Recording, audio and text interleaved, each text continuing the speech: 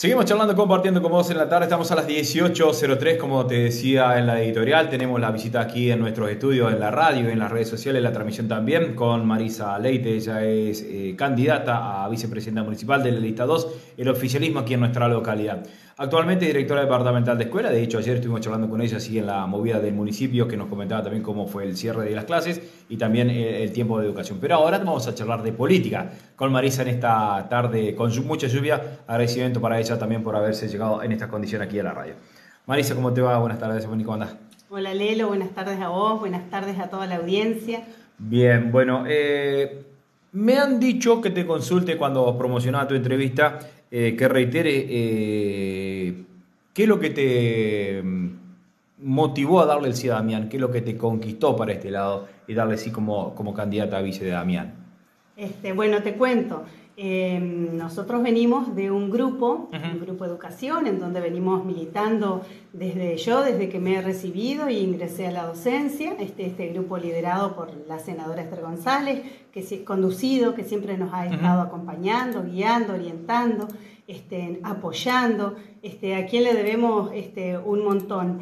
Y, bueno, em, habíamos sí largado la candidatura este, en el último encuentro del gobernador este, nos pide la unidad de todos los, justicialistas, la posibilidad de que hubiera listas únicas en cada departamento.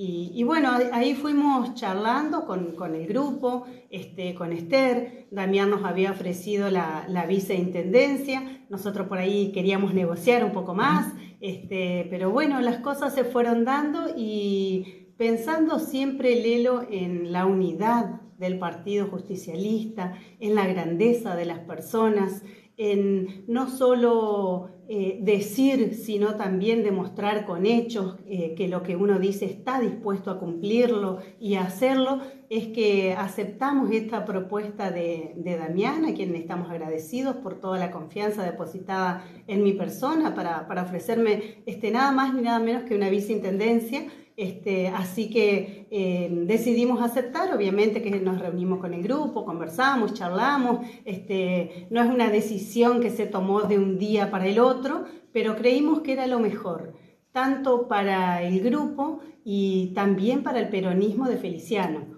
Justamente, eh, de mucho tiempo esta parte, de que sos muy joven, eh, militaste, estuviste siendo parte de Frente de Campaña, te hemos visto más de una vez también por allí, en la ciudad, en los distritos también, y ahora eh, em, creo que por primera vez vas a ser parte efectiva de, una lista también, o ya como candidata, ¿no? Creo que es la primera vez, ¿o no? sí, sí, en realidad en su momento habíamos, cuando em, se había formalizado la Juventud Peronista, habíamos competido ahí, este, y fuimos electos en ese momento, pero como, en, como autoridades partidarias.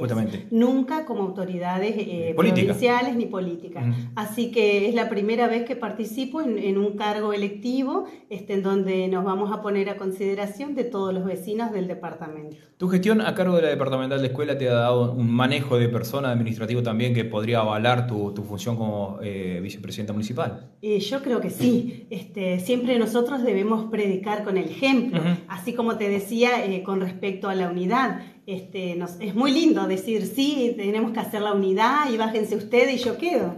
no, este, la unidad se va dando este, cediendo algunos espacios. Yo creo que, somos jóvenes, que podemos eh, aspirar a algo más en el futuro, pero este mi momento era este, cederle y darle al Partido Justicialista en donde yo me crié este, desde que nací y milité. Así que yo creo que era el momento justo este, en donde yo tenía que decir sí, acepto en pos de mis compañeros.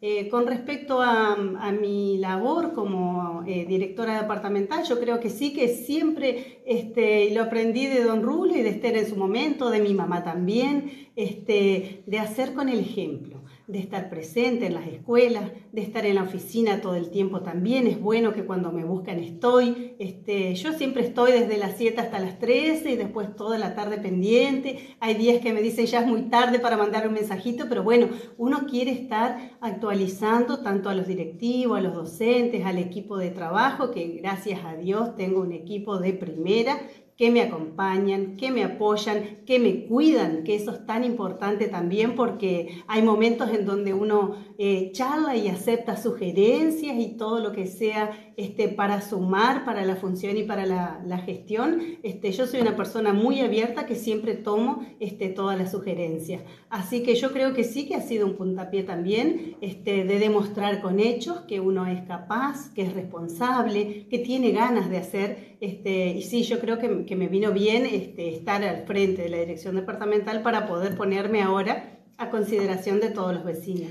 Ya vas charlando con también qué le puedes sumar, eh, qué le puedes aportar a lo que es el municipio de Feliciano. Sí, o sea, este, primero y principal las ganas de trabajar. este, ganas de trabajar, ganas de hacer, ganas de involucrarnos con cada una de, de las áreas municipales y así también con los vecinos. Eh, hablábamos con el grupo de concejales que nuestra idea es este, poder salir a los barrios, estar en contacto y todo eso ir volcándolo en proyectos, que podamos cada una de las inquietudes, necesidades que van surgiendo, poder volcarlas en proyectos y de esta manera este, fortalecer nuestro vínculo con el barrio y con todas las áreas municipales. Justamente, y parte de eso estaban haciendo ayer allá eh, en el barrio San Antonio, ¿no? Lo hemos visto en una cruzada por allí. Sí, sí, la verdad que es un encuentro hermoso en donde hicieron un abordaje territorial todas las áreas municipales y charlaba ahí con las vecinas y qué bueno que está porque estaban esperando que llegara o que se instalara el, cada una de, de, las secretarías que se iban a instalar para evacuar dudas y consultas. Qué mejor que los vecinos tengan una vez a la semana, una vez cada 15 días o una vez al mes este, estas áreas en el barrio que están ahí, al lado de tu casa. La verdad que es una muy buena idea. Justamente, hay un montón de temas que Feliciano lógicamente eh, ha evolucionado y va evolucionando también, no solamente por ahí lo que más se reclama es luz, eh, eh, las calles y mucho más, pero ciertamente que hay un montón de cosas para afrontar también como gobierno en este 2023, diciembre hasta, hasta el que culmine. Y tiene que ver con el aspecto de los jóvenes, eh, eh, narcomenudeo está muy fuerte también, cada vez son más las personas que hay por ahí afectadas por esto, que son eh, eh, eh, enjuiciadas por esto y bueno, las madres por ahí que no ven un, futuro para su justicia también que es ¿no? ¿Es motivo de charla eso? ¿Es parte del proyecto ustedes también? Por supuesto que sí, Lelo, nosotros creo que es una de las partes fundamentales poder abarcar este, y, ampliar más este, para los jóvenes. La idea es que nuestros jóvenes estén ocupados, que tengan actividades, que puedan hacer cosas, que sean contenidos. Este, siempre les digo cuando tenemos oportunidades, así como estuvimos el otro día en la quema de muñecos, cuando yo visito a las escuelas, este, gurises estudien, les digo yo. Eh, así, en el, en el vocabulario de ellos y en el día a día, que gracias a Dios tengo una muy buena relación con todos los jóvenes y los gurises y con los centros de estudiantes también. Estudien, le digo, yo quiero estudiantes este, al futuro, que piensen en su futuro, que no me vengan a pedir trabajo a los 18, 19 años. Yo quiero que a esa edad ustedes estén en un instituto, en un profesorado, en una facultad, pero estudiando, que hagan algo por su vida, porque el, el estudio es el legado que le podemos dejar este, a nuestros hijos, nuestros vecinos, y, yo creo que, que es el, futuro, este, son los gurises, y bueno, aparte del estudio, bueno, eh, incentivar el, todo lo que es área de deportes, área de la juventud, ver de qué manera podemos contener en sus tiempos libres este, a los gurises, incentivar también el trabajo en equipo con los clubes. Yo creo que se están haciendo un montón de cosas en cada uno de los clubes, que estaría buenísimo poder este, eh, sumarnos y darles una mano también ahí para que los chicos tengan mayor participación. ¿Qué es lo que se le dice a la comunidad feliciana un día como hoy, por ejemplo, que hay un montón de, de, carencias, necesidades, o por ahí eh, con este tema de las redes sociales? ¿Cómo, cómo, se le, ¿Cómo se acerca hasta los domicilios? ¿Cómo se responde a eso en la campaña? Mira, nosotros en campaña visitamos casa por casa, ya, ya estamos saliendo, estamos acompañando a los vecinos, vamos, charlamos, este, como también lo decía Damián el otro día en una, en una entrevista, y, hay cosas que se, pueden, que se pueden hacer, que se pueden ayudar, que se pueden dar una mano, y otras que, bueno, por ahí hay que esperar porque obviamente que son muchos los vecinos que por ahí tienen alguna inquietud, alguna necesidad, pero mi premisa está escuchar a todos, conversar con todos, tratar de buscarles la solución y no engañarlos ir siempre de frente, que es lo que yo les digo a las personas que me conocen saben, este, que yo les digo no te voy a prometer, no te voy a engañar. Cuando se puede, bienvenido y sí, este, y doy mi palabra y la cumplo. Y cuando está difícil o está medio complicado, por ahí no se puede, le digo, espérame, ya va a llegar el momento, este, porque es muy feo prometer a los jóvenes o, o esas mamás o qué sé yo, y después no poder cumplir. Y yo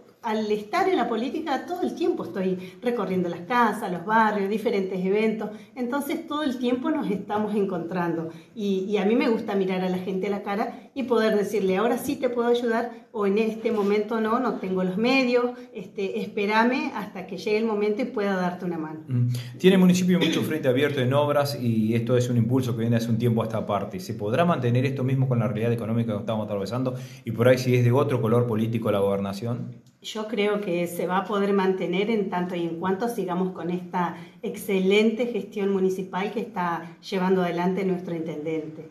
Este, en obras, viviendas, en tema de educación, este, a donde salgas hay una obra del municipio y eso te enorgullece, y más te enorgullece cuando vienen familiares o gente de afuera y te dicen qué lindo que está Feliciano, cómo está creciendo.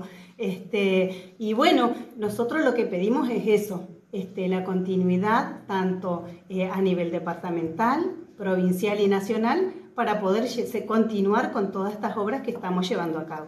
Eh, ¿Hay reuniones con los concejales ya para ir viendo, delineando algunas cositas a futuro? Eh, sí, sí, sí, nos estamos empezando a juntar. Por ahora estamos distribuyendo un poco de, barrios, de salidas y todo eso, pero sí, por supuesto que sí.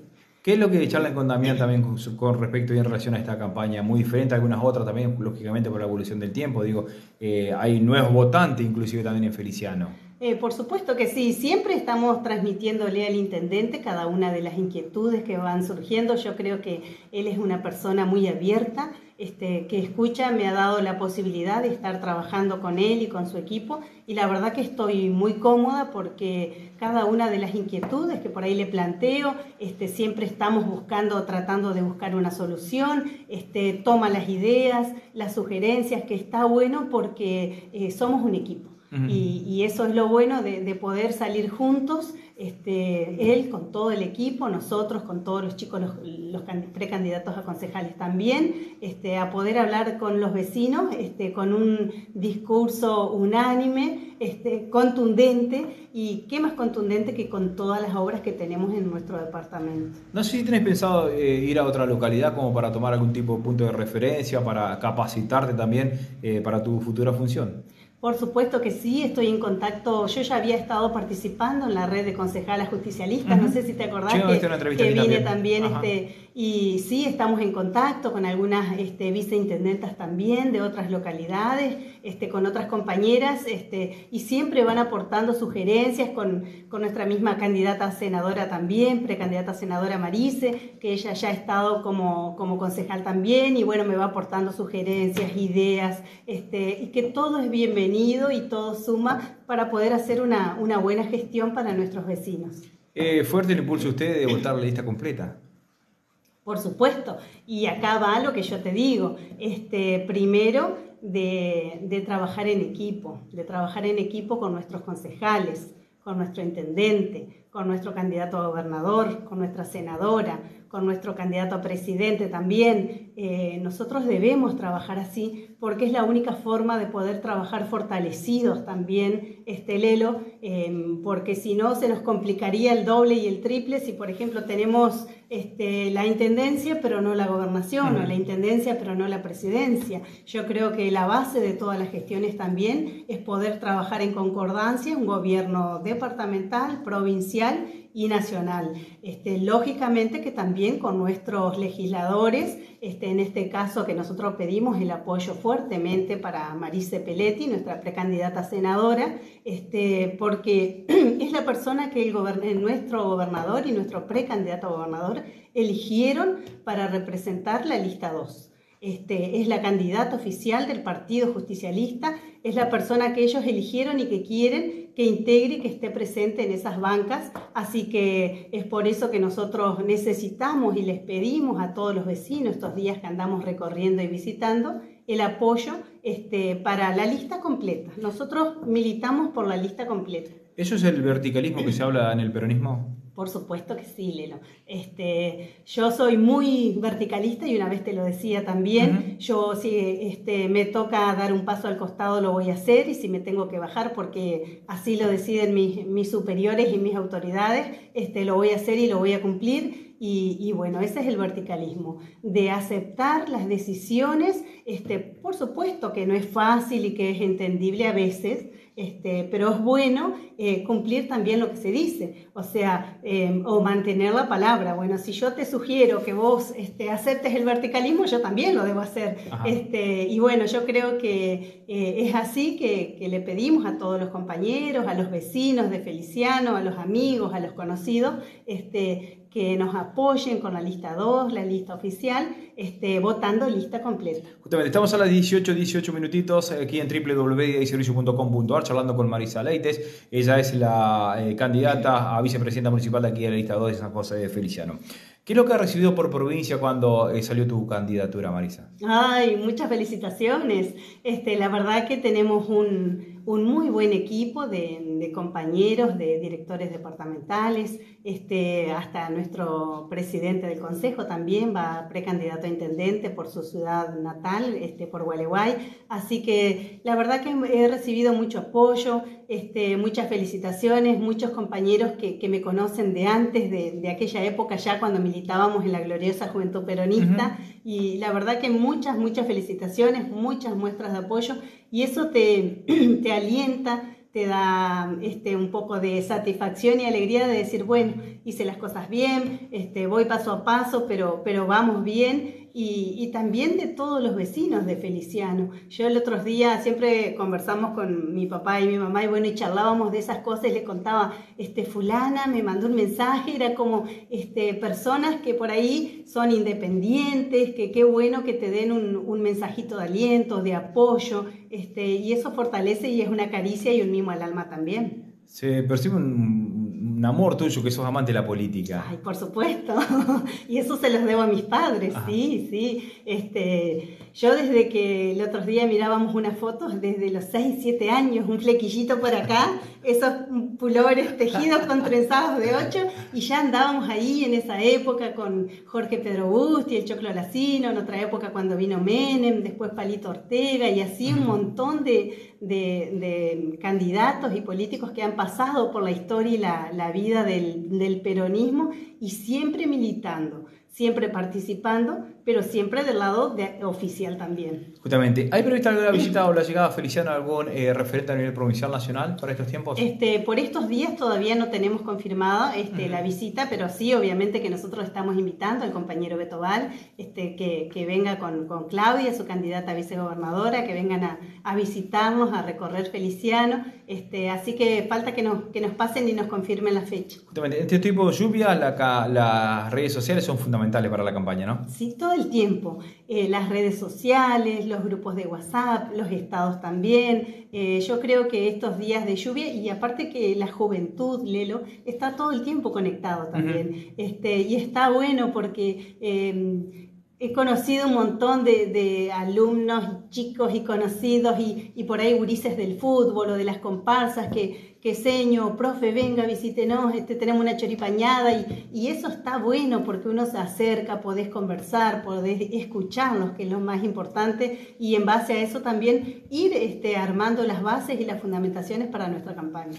¿Algo más para promocionar de la lista 2, Marisa? No, Lelo, simplemente decirle a todos los vecinos de Feliciano que nosotros vamos por la lista 2 completa. Nosotros uh -huh. queremos y les pedimos a todos los vecinos de Feliciano este, que voten a Damián, candidato este, a intendente municipal, Marisa Leites Vice, quien les habla, este, la doctora Marise Peletti, senadora, Silvia Moreno, diputada, eh, Adán Val, candidato a gobernador, Claudia Monjo a vicegobernadora y Sergio Massa, nuestro candidato a presidente. Les pedimos a todos que voten la lista completa. Es una forma de, garantizar también y trabajar en equipo desde nuestra ciudad hasta Nación. Es por eso que nosotros pregonamos por la lista 2 completa. Así que los invitamos a que, que nos acompañen este, en las elecciones con su voto. La última tiene que ver qué es lo que te ha dicho tu familia con respecto a tu candidatura cuando diste el sí. ¿Qué es lo que, recibiste por parte de ellos? Eh, apoyo, siempre, siempre.